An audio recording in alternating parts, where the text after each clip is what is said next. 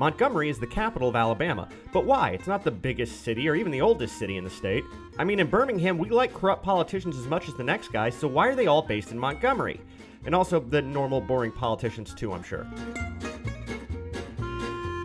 So, as part of Ask Alabama, we were asked Was Wetumpka once considered a candidate for the state capital? And the answer is yes. A bunch of cities were, but Wetumpka did come closer than most. See, before 1826, the Alabama capital had been bounced around to a few different places. It had been in Washington County, then briefly in Huntsville, then briefly in Dallas County before shifting up to Tuscaloosa.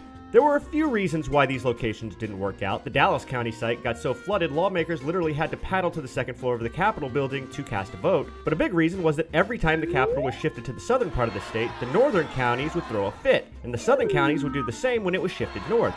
So in 1826, when the capital was moved to Tuscaloosa, it shouldn't surprise you that all the southern counties weren't happy, and they began a long campaign to get the capital moved again. But it was tricky because this time the new capital of Tuscaloosa was written into the state constitution, so to move it again, they would need to pass a constitutional amendment. Unlike today, when folks in Alabama vote on 10 constitutional amendments every time they go to the poll, back then an amendment was a hard thing to get passed. But after 20 years, the southern counties found a way. They tied moving the capital to a different amendment that would allow state lawmakers to meet every two years. At the time, they they only met every four years, so it was hard to get stuff done. That was an incredibly popular amendment, so it passed in 1846 along with a measure to move the state capital. So once again, the capital was up for grabs. Now, in the past, the fight for the capital had largely been between northern and southern counties, but in the intervening years, the central part of the state had established its own power base. This area, known as the Black Belt because of the black soil in the area, had gotten rich because of cotton plantations.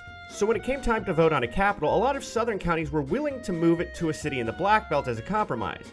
The area wasn't too far north or too far south, and a confluence of rivers and train tracks in the area made it easy to travel there from basically anywhere in the state.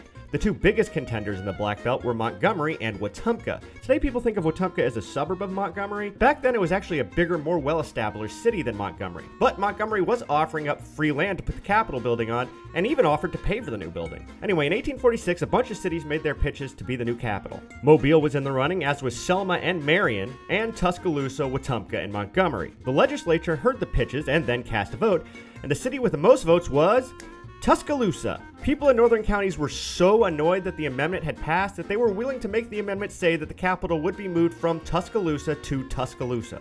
But while Tuscaloosa had the most votes, no city had enough of a majority to win. So they voted again, and again, and again.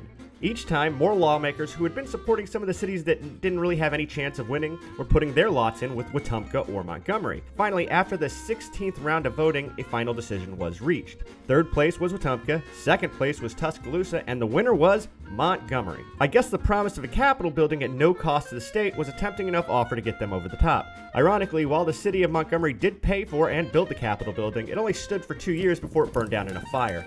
The state ended up having to pay to build a new one, so I guess there's no such thing as a free lunch. So yeah, Wetumpka was a major contender for the state capital, but in the end, Montgomery won. I'm Jonathan Soboleski for Reckon. Hey everybody, if you liked this video, you can help us out by leaving a like and subscribe to the channel so you never miss a video. And if you've got questions about Alabama you want answered, you can leave your questions at al.com slash ask. Thanks for watching.